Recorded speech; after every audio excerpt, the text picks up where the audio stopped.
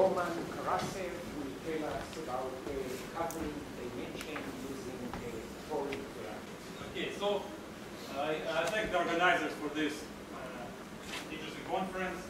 Unfortunately, my topic is uh, well, has nothing to do with number theory, and is, but uh, I hope it has some relation to combinatorics. Uh, but well, the content of the next slide I think might be uh, familiar to many people here. Actually, there are two theorems. One, the Dex theorem, and the other, Knaster-Kuratowski-Mazurkiewicz theorem, uh, which which are usually known uh, to combinatorialists and uh, to people who do some economics. Uh, those theorems, well, in, in, terms of the general topology, they just uh, assert that the covering dimension of the Euclidean space is what we expect is if it is Rn, then the dimension is n. So uh, how how is it stated? Uh, for example, if a cube is covered by some family of compact sets such that the multiplicity is at most n, multiplicity is the number of times any point is covered, the maximum number of times that any point is covered, then those sets cannot be too small. One of those sets has to touch two opposite faces of the cube. For example, I, I will write some examples, I'll draw some uh, examples in the two-dimensional case. So if we have covered multiplicity by by some sets in the plane, and we want to cover the square so that every point is covered at, at most twice, then one of the sets has to be large, it has to touch both, or uh, uh, either both uh, these sides, either both these sides. Well, there are more, precise statements, but uh, we just uh, consider this kind of argument. And uh, the other theorem, the KKM theorem, as it is usually called, of similar thing.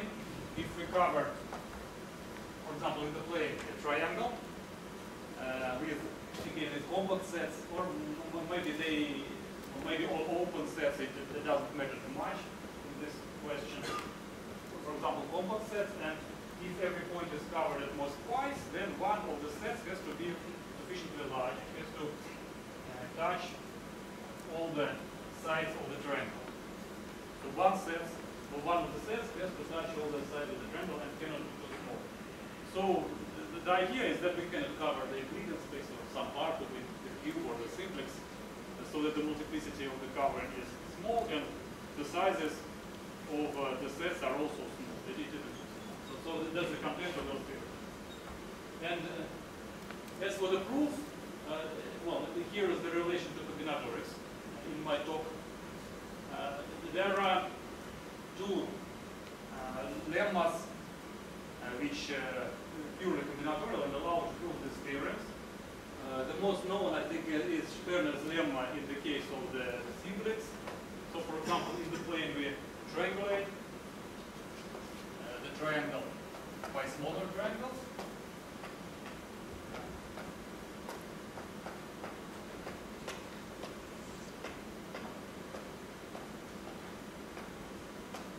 And we color the vertices in three colors. Example, in, three colors we will begin some assumptions, and we conclude that there is a small triangle each uh, which contains all three colors. I, I won't uh, make the full statement here because it actually doesn't. Uh, it is not needed in my talk, but uh, you, might know that there is a, this kind of proof for, for the, for the KKM theorem. And for uh, Dex theorem, there is a similar proof with a so-called Hex lemma or whatever. So I, I won't explain it in detail.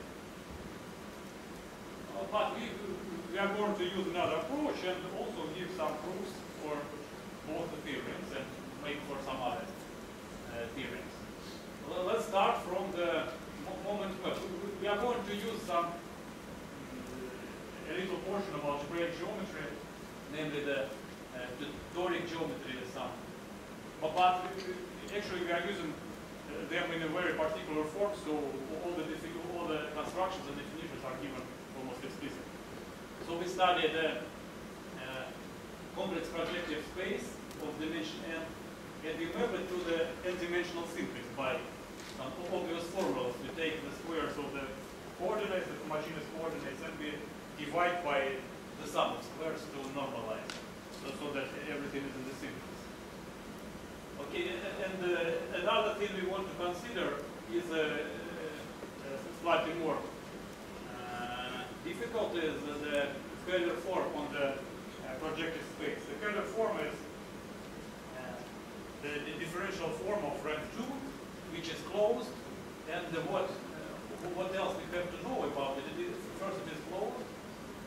Next, its nth power is non-zero because it represents the volume for up to some constant.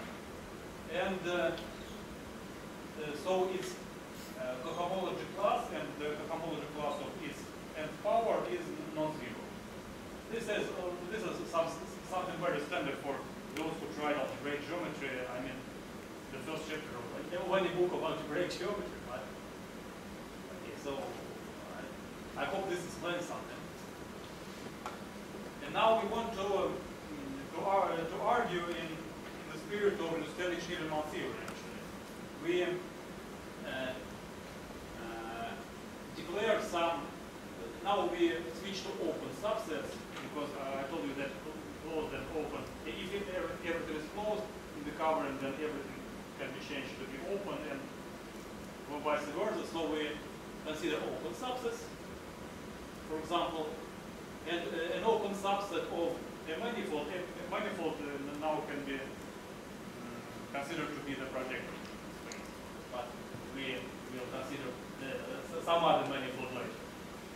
So uh, on such a Kähler manifold, we consider some open subset and we call it in essential if uh, this uh, closed Kähler form is actually exact on this. Uh, on this open subset. That means that this omega can be represented as differential of something. Differential, differential of a form of rank 1. So in this case, we call this uh, subset inessential. And the crucial fact is that if uh, we have several inessential subsets, this is the, the main fact used by the standing Schneermann theory, actually. And uh, then uh, eh, well, it isn't correct actually. What I had to write it. the cohomology class is vanishes on every y, then its power vanishes on the u.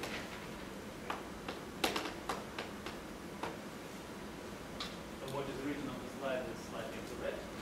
But the idea is that if the sets are inessential, then their union, if there is some controlled number of them, m sets, then their union uh, has uh, some related property. The cohomology class class may not vanish, so the form may not be exact, but its m power is exact. So that, that's the idea. So it can be actually proven by, for example, by writing the equalities and multiplying them and uh, n- n- noting that in this case we, we indeed, uh, so so every mu- multiple is on its correspondent on its respective sub- subset, and the, the, the whole product vanishes for the whole union, and so it allows to express omega to the power of m as a differential something. So that's the idea.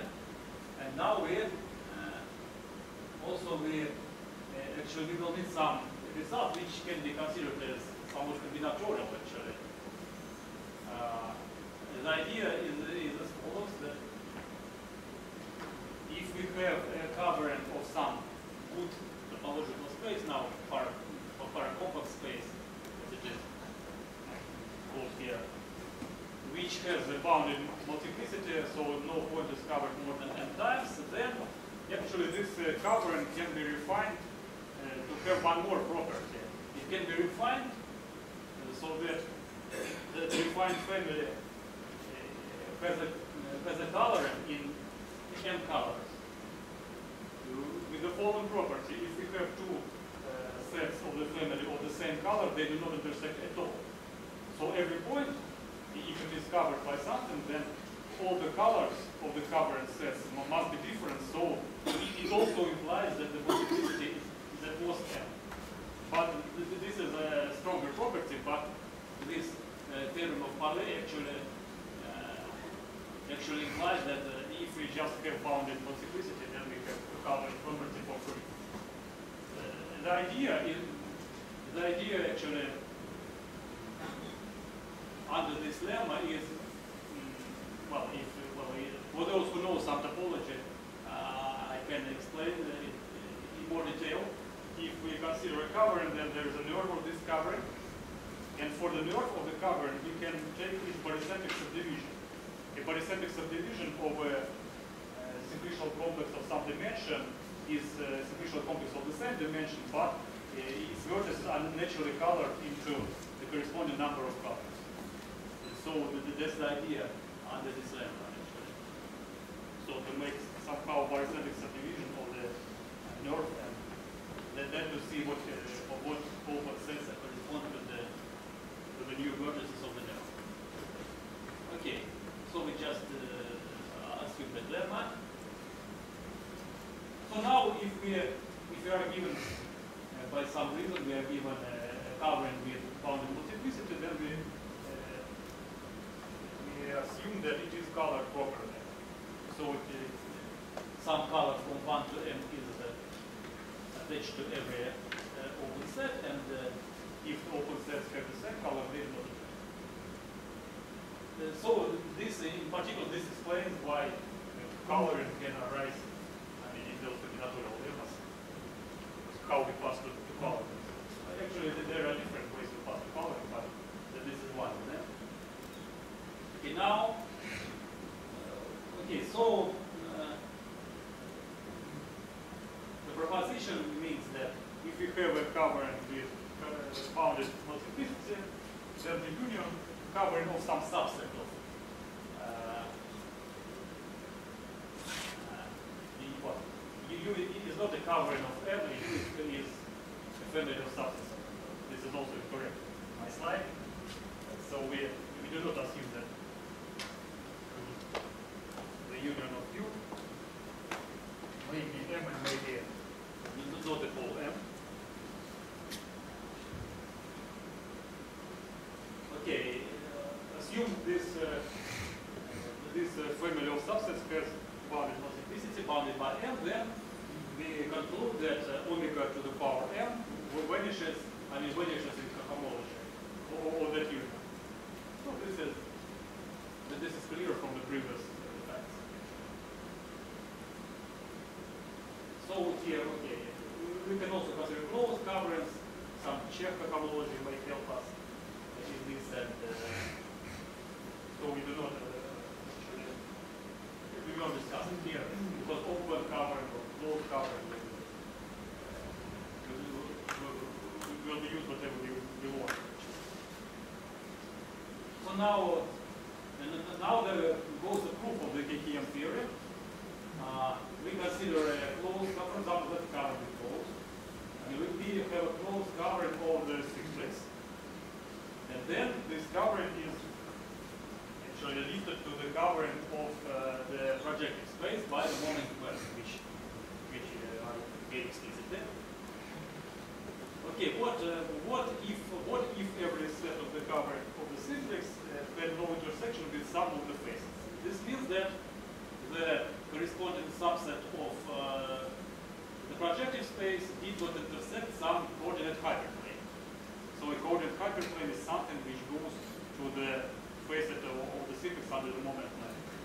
So it doesn't intersect the coordinate hyperplane, but uh, it's a- it is basic in algebraic geometry that omega that Kähler for omega that we consider, it is Poincaré dual to the hyperplane. So some, sometimes it is called a hyperplane divisor or something like this. So it is a you know, Poincaré dual to a hyperplane. So it means that if every set V of the covering of the simplex is inessential in the sense that it doesn't intersect some facet, then its preimage is inessential in the sense that uh, omega is uh, exact, actually, on, uh, on its preimage. So we just uh, have uh, we have a, fa- a family of uh, closed and unclosed subsets which cover the whole projective space. The multiplicity is at most mm, n, and all of them are inessential, and we conclude, it is not written there, I will write it on the blackboard, and we conclude that the homology of omega to the power of n actually vanishes.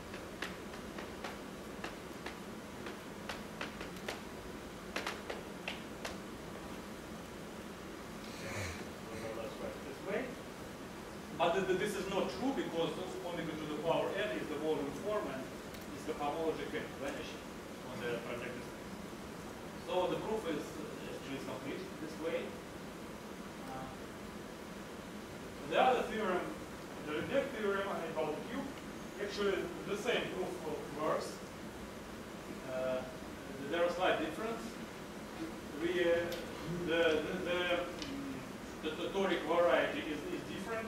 For the cube, the corresponding toric variety is the product of uh, the projective lines. So CP1 uh, to the Cartesian power of n. So every, well, we can consider the same formula. CP1 goes to, goes to the segment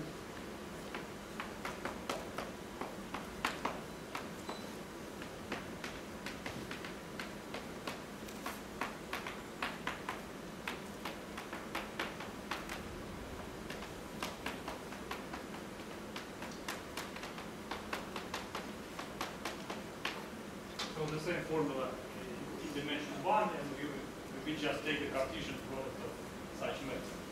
So it is clear. What, is it? And what is a hyperplane divisor in, in this situation? Actually, uh, well, it, it, this is a very simple fact about toric varieties, and it can be proved by pen. Actually, that if we consider the embedding of that product into the projective space of appropriate dimension, it is called uh,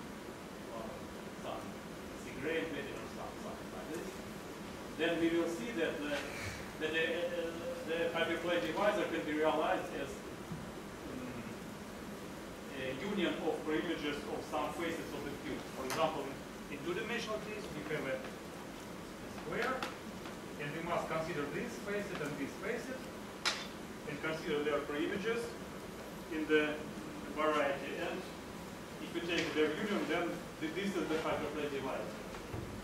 Of course, we could consider this pair or this pair or that or the other pair.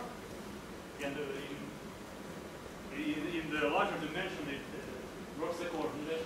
We have to consider n facets, which are mutually perpendicular, and they, or in other words, they have a common vertex, and their, their images uh, just form a hyperplane divisor. And now what we see, assume the, we cover the cube, the multiplicity is at most n, and every set doesn't touch any pair of opposite faces of the cube. What it means? It means that any set doesn't touch uh, some facet of every direction. So every set that doesn't touch some, some, I mean, uh, some uh, configuration of this kind, I mean, some n mutually perpendicular uh, faces. So th- th- this just means that after lifting to the uh, toric variety, it gives a, an essential set that does not touch some hyperplane, some representative of the equivalence class of hyperplane divisors. So it is essential, and then the theorem follows like the previous theorem. Uh, just, uh, just uh, similar. Of course, uh, well, of course you could uh, ask question, well, why? Why? Well, well, well, why this all is, is done? Because those all theorems had uh, very simple proofs actually, and uh, here we use some very fine machinery. Somehow it happened that uh, some other theorems, I mean some extensions of these theorems uh, uh, follow from the same approach just for free, and uh, uh, well, this, th- there was some discussion, I, I give reference. This, one question was initiated by the Dr. the one uh, MathOverflow, and we discussed with him some approaches, and actually, I found that this kind of proof, which, which was also suitable for this question, uh, and uh, some other, uh, okay, some other theorems will, will also be shown. So what is the theorem? Well, the theorem is rather tricky, but still it, it is proved this way. So if, again, we have a family of closed subsets for the simplex, now we don't assume that they cover the whole simplex. This is just a family of subsets, be closed. And the multiplicity be mm, at most k. And, uh, well, let the multiplicity be at most k and let all of them be essential in the sense that n- none of them touches all the faces of the sequence. So they are essential in, in the meaning that I did before. And uh, then we conclude that if we consider the complement to this, to the union of this family, then this complement, of course, it is big, and moreover, some connected component of this complement intersects every k-dimensional face of the sequence. So, well, why it is needed, I, actually the method w- w- wanted to prove some combinatorial results from this level, but he failed. actually. Not failed, but he didn't succeed. Well, So, so I I will not explain why it is needed, but it was uh, asked and it was answered.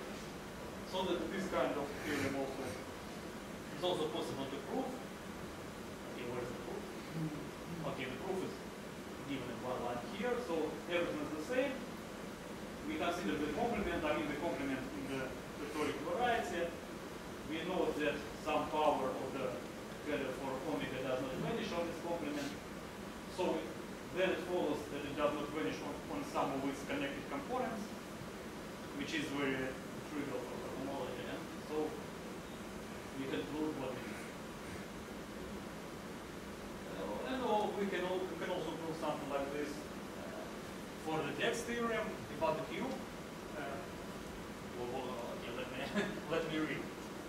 Again, we, we cover a cube, and we assume that uh, no covering set touches a pair of opposite faces, as an index theorem, and we assume the covering multiplicity to be small, to be k, n or less than n. Then, again, we, we can consider the, the union, and the, in the complement we can find the connected component, some connected subset that, uh, and we uh, can also uh, show that it uh, it intersects something. Wh- wh- What is, what is intersected? We can choose a k-dimensional coordinate subspace, and we can consider uh, all faces, all k-dimensional fa all k-dimensional faces that are parallel to that coordinate subspace. The number of them is some two to the power n minus k. And uh, that connected component will intersect every face parallel to that. So this is, uh, it, it may be not so interesting, but still we can. Also, well, after some thinking, we can also prove the following result. Mm, Actually, here we can consider arbitrary simple polytope, and uh, well, i- will not give definitions here, but there is a the idea is that for the simple polytope we also can produce a toric variety. It won't be smooth anymore, but actually all the needed properties follow. So, and from considering the toric variety, we conclude that for a simple polytope, if it is covered by closed uh, subsets, and the multiplicity is at most is dimension, is at most n, then some of the sets uh, touches some n plus 1 faces of the polygon. So it's clear that this uh, theorem gives for the cube it gives the text theorem, for the simplex it gives uh, KKM theorem. So somehow uh, the toric approach uh, shows that uh, everything is uh, so that this theorem can be stated very, very concisely. Okay, also I want to I want to mention another theorem which has a which has a proof along these lines. But, well, I, I also had the proof of this theorem previously by somewhat different argument, but that, now that argument, I mean, after these observations, the, the, previous argument can be called the real toric approach, and now uh, we, for example, can uh, apply the, the, the complex toric approach, which, which was the approach in my case. So the idea is that assume we have a, a simplex of certain dimension. Now simplex uh, has bigger dimension than usual than in previous results. It is d plus 1 times r minus 1, where d and r are some positive. And assume we map this simplex to, uh, to something. So something is a d-dimensional, for example, metric space. Maybe complement. It doesn't. It is not needed, but d-dimensional metric space. So some quite arbitrary object. Then we can conclude that uh, if you consider there is a point in that metric space which is covered by images of all the uh, t times r minus 1 dimensional uh, faces of the simplex. So the idea is that we, if we consider all the faces of that simplex of uh, certain dimension, which is not full dimension but slightly uh, slightly smaller, around t over t plus 1 times smaller, uh, then those uh, faces actually has to intersect after this map. So after this map, all those faces actually, this is uh, indeed a, a generalization of the simple theorem or the simple central point theorem, which the, what is the idea of the central point theorem? So if we have a family of points in Rd, then we can choose a central point, C, uh, such that if we uh, separate some half space from this central point, then in this separated half space, we have at most, mm, oh, Every side is the one over. I mean, on the other side, if we uh, have a half space which contains the central point, then here we have at least 1 over t plus 1 fraction of all the points. So let x be, be the point set. So th- th- that's the statement actually. So it can be it can be rephrased differently if uh, we have some number of points, then it is possible to choose a point, a central point C, such that if we have a subset of cardinality approximately uh, uh, this, then uh, this the convex hull of this subset contains the central point.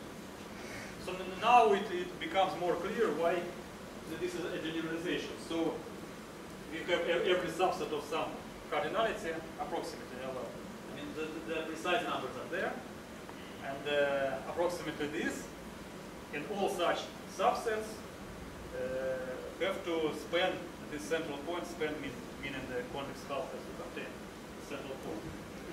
So as usual, this kind of uh, results, actually if, so, so th- th- this results in a particular case. If the map of the uh, simplex uh, to the space, here W is just a Euclidean space and simplex is simplex of appropriate dimension, and, and the map is given by mapping the vertices to the points of X, so every vertex goes to its uh, appropriate point, and uh, everything other is just extended linearly to the whole simplex.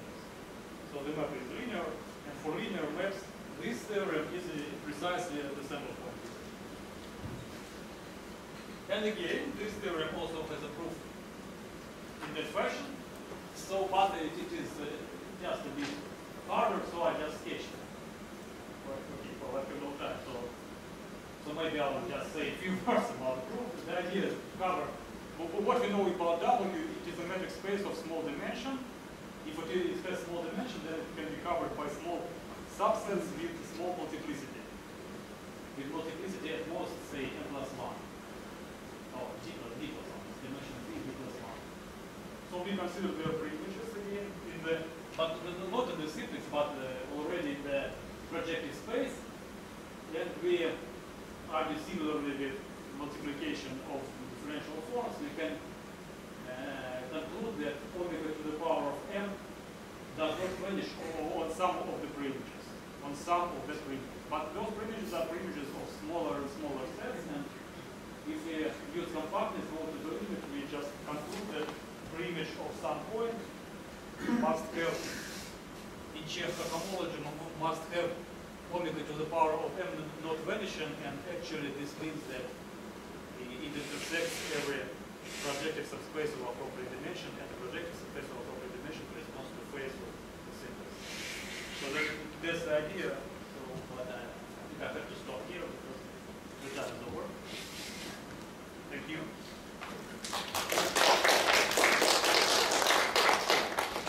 Questions?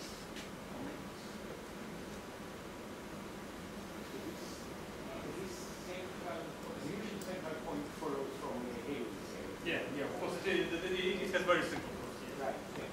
Uh, So there is, is there a topological version of fading, it will be defined, the topological version of things? It's not, no, it's not clear to me because the topological version of theory we need some assumptions on intersections of sets. Right. But, but here we have, here we do not do much assumptions. We just so this is some- somewhat different, and that, doesn't follow from each other. Well, no, no, no. Actually, some topological, not topological, but some certain kinds of topological theorem do follow from this kind of argument, but uh, not directly. But I mean, one has to gener- generalize those arguments against something. Well, there is some connection, but uh, I, I know that one guy uh, has wrote the text, but he it. He put it somewhere, somewhere between three or